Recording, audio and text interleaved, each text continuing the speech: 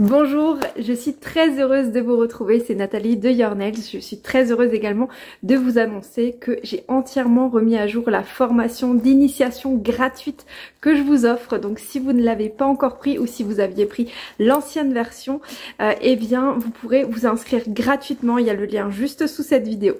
Aujourd'hui, nous allons voir dans cette vidéo les principales erreurs qu'on peut faire euh, lorsqu'on utilise la technique des pop-it. Pour celles qui ne savent pas, les pop-it peuvent être utilisés à la fois pour les personnes qui débutent et les personnes beaucoup plus avancées pour faire des techniques comme des amandes russes par exemple et on peut faire des choses vraiment extraordinaires. Ça je vous le montre dans la formation styliste ongulaire niveau 3.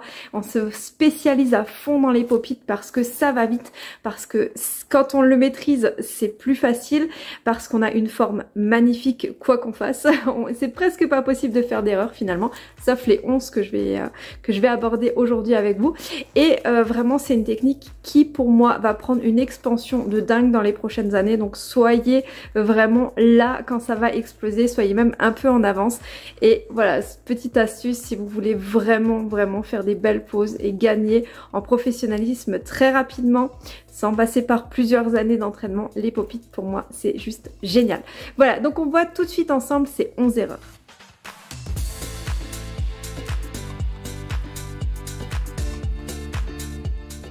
Alors je sais pas vous, mais moi j'aime beaucoup la technique des pop-it et je pense réellement que c'est l'avenir et c'est pour ça d'ailleurs que ma formation professionnelle niveau 3 est consacrée uniquement à cette technique. Mais bien souvent on a tendance à faire des erreurs avec cette technique. On a souvent tendance à sous-estimer un petit peu la, difficulté de cette technique en se disant que ça a l'air très très simple. En même temps, appliquer du gel, ça a l'air très très simple aussi, mais on se rend vite compte que c'est tout un métier. Donc dans cette vidéo, je vais vraiment vous montrer les différentes erreurs qu'on peut faire et surtout ben, comment y remédier.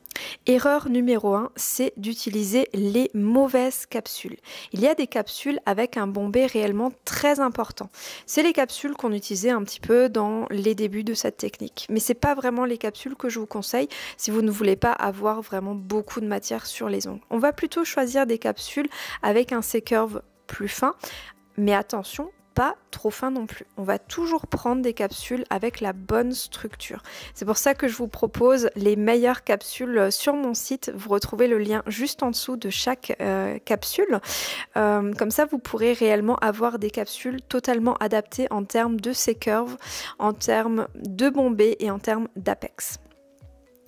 Erreur numéro 2, oublier d'appliquer la couche de base. Alors là, vous pourriez avoir euh, des problèmes de tenue si euh, vous oubliez cette couche de base. Donc euh, n'oubliez pas de la faire. Vous pouvez la faire plus ou moins fine, mais en tout cas, voilà, il faut faire cette couche, la catalyser et enlever le film de dispersion. Erreur numéro 3. Choisir une taille trop petite ou trop large en choisissant une taille trop petite, on a tendance à avoir un rallongement qui va être trop étroit par rapport à notre plaque naturelle.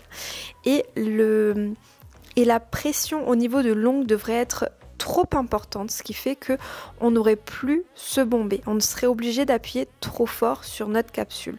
Donc on veut totalement éviter cela pour éviter déjà de manière esthétique que ce soit pas joli, mais également que le bord libre casse trop large, on aurait un ongle qui visuellement serait beaucoup trop large, qui ne serait pas joli. Alors il vaut mieux l'avoir un tout petit peu trop large que trop étroit. Pourquoi? Parce qu'on peut pincher légèrement sur les côtés si besoin.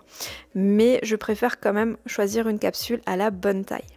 Erreur numéro 4, euh, c'est d'appliquer trop de produits dans la capsule. Il faut bien se rendre compte qu'on veut recréer un bombé au niveau euh, de l'ongle, mais qu'il faudra mettre juste la bonne quantité de matière. Si on en met trop, lorsqu'on va l'appliquer sur l'ongle, eh bien ça va ressortir de tous les côtés. Et peut-être que ça vous parle, peut-être que vous aussi ça ressort sur le haut, sur les côtés. Eh bien c'est tout simplement qu'il y a trop de produits. Donc mettez simplement moins de produits. Eh bien, erreur numéro 5, c'est juste l'opposé, c'est de ne pas mettre assez de produits. Ce qui fait que lorsque vous voudrez appliquer votre capsule, vous allez vous rendre compte qu'il y aura de l'air entre la capsule, l'acrygel que vous avez mis à l'intérieur et votre ongle. Donc vous serez tenté de vouloir combler ce vide en appuyant sur la capsule et là, vous n'aurez plus du tout de bombée. Donc votre ongle sera trop fragile et pourra casser. Erreur numéro 6, c'est pas, mettre assez de produit vers les cuticules. Peut-être que votre capsule euh, sera carrément transparente sur le haut et donc du coup vous pourrez avoir un, espace trop important au niveau des cuticules. Là encore une fois, vous serez euh, tenté d'appuyer pour que le produit aille bien jusqu'au bout vers la cuticule.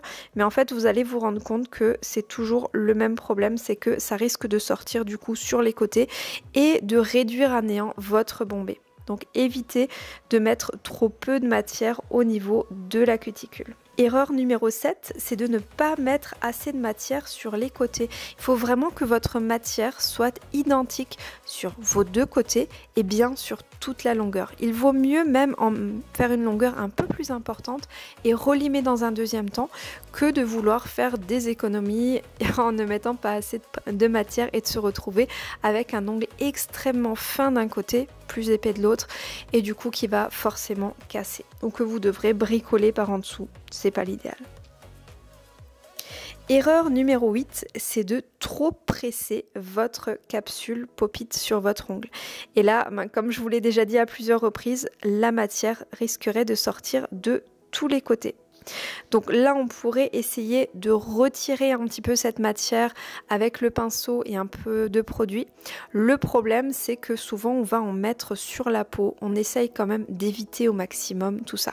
Surtout que si ça coule sur la cuticule ou sous la cuticule, eh bien, ce sera très difficile de le retirer proprement. L'erreur numéro 9 est d'appliquer sa capsule Poppy trop près des cuticules tellement près que du coup, eh bien, la matière va déborder un petit peu sous la cuticule. Donc il faut toujours laisser un tout petit peu d'espace lorsque vous appliquez votre capsule pour pouvoir avoir un peu d'espace pour pouvoir relimer bien le contour et ensuite avoir quelque chose de vraiment bien net. Erreur numéro 10 est de laisser le boudin sous le bord libre. Donc euh, je vous conseille réellement de catalyser déjà par au-dessus euh, l'espace de peut-être 5 ou 10 secondes et ensuite de retourner votre ongle qui ne sera plus devant la lumière et de bien venir appuyer sous votre bord libre pour pouvoir bien le lisser et bien le catalyser à ce moment-là. Vous pouvez également euh, eh bien faire, euh, faire cet exercice de lissage du bord libre par en dessous avant de catalyser le dessus, mais du coup votre capsule risquerait de bouger. Donc là c'est une petite technique euh, secrète, on va dire, qui peut bien vous aider. Et l'erreur numéro 11, c'est que lorsque vous relimez près des cuticules, eh bien vous limiez toute la matière. Et que là du coup vous fassiez des petits trous à ce niveau là et ça arrive très très vite puisque en général la matière est assez fine.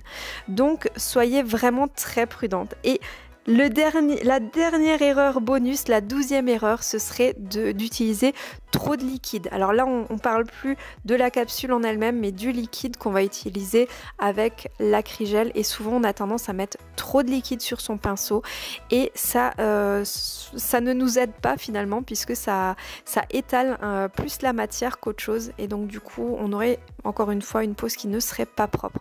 Donc essuyez toujours un petit peu votre pinceau et utilisez juste la bonne quantité de matière. Voilà, j'espère que cette euh, vidéo vous aura plu, que vous aurez appris quelque chose et que surtout vous ne ferez plus une de ces 11 erreurs ou même plusieurs. Et si vous avez euh, par exemple besoin de matériel, il y a tout le matériel donc juste sous la vidéo.